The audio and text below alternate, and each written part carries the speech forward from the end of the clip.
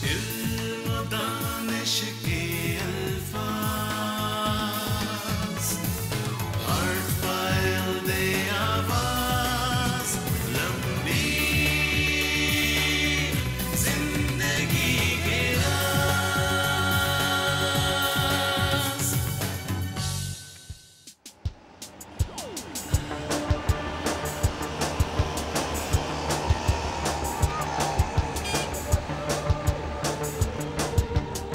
तेज रफ्तारी, कानून की खिलाफ वर्जी, ट्रैफ़िक में बेकायदगी। आखिर कब तक?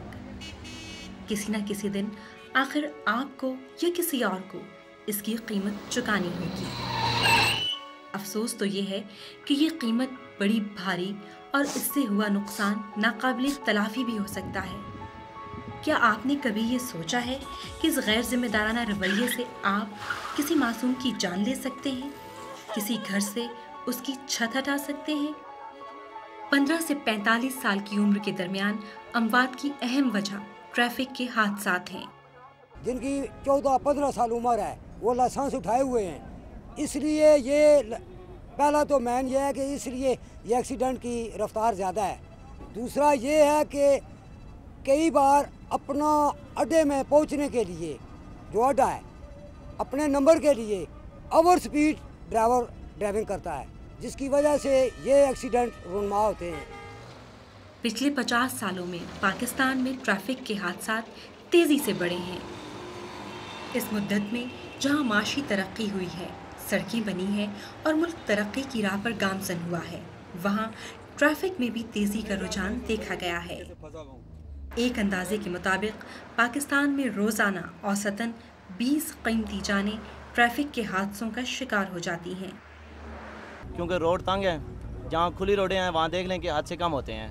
हमेशा जो भी हादसा हुआ है, वो तंग रोड पे हुआ है। सिग्नल नहीं है किसी चौक में। जहाँ सिग्नल होते हैं, वहाँ कवर हो जाता है। पीछे आने वाले को भी क्लियर होता है कि सिग्नल यहाँ बंद है। क्योंकि वो साइकिल वाले हमेशा से ये करते कोई इशारा खुलने से पहले, और वो देखते हैं कि दूसरी साइड सभी का नहीं है तो वो कोशिश करते हैं तेज़ी से निकलने की। जिसकी वजह से गाड़ियाँ जब आती हैं तो वो बीच में आ जाते हैं। फिर भी वो कहते हैं क्या जी, सौ, दो सौ रुपया बैंक में देंगे, कोई बात नहीं। लेकिन वो कभी भी उन्होंने ये नहीं सोचा कि, यार, ये हमारे फ़ायदे की बात है, पब्लिक के फ़ायदे की बात है, या हमारी सेफ्टी है इसमें? बिल्कुल कतन नहीं।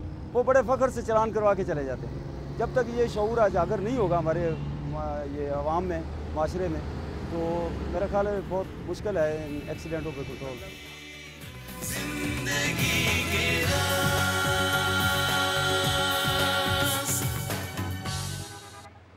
अगर आप गाड़ी बस या ट्रक चलाते हैं तो हमेशा आहिस्ता चलाएँ और एहतियात से चलाएँ।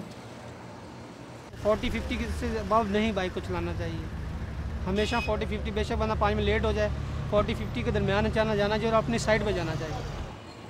अगर आप मोटरसाइकिल चलाते हैं तो हेलमेट पहने। हेलमेट मस्ट है। छोटी लॉन्ग ड्राइव हो शॉर्ट ड्राइव हो हेलमेट मस्ट है। इससे बंदे की सेफ्टी रहती है।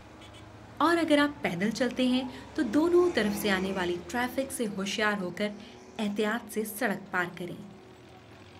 अगर आपकी गाड़ी में सीट बेल्ट है तो इसका इस्तेमाल हर हालत में और हर सड़क पर करें।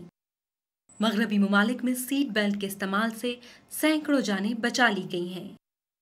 ट्रैफ़िक के इशारों और कवानीन की सख्ती से पाबंदी करें, क्योंकि ये आपकी हिफाजत के लिए बनाए गए हैं।